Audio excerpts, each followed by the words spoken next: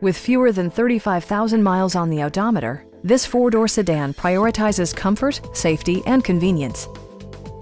Smooth gear shifts are achieved thanks to the 2-liter four-cylinder engine, and all-wheel drive keeps this model firmly attached to the road surface.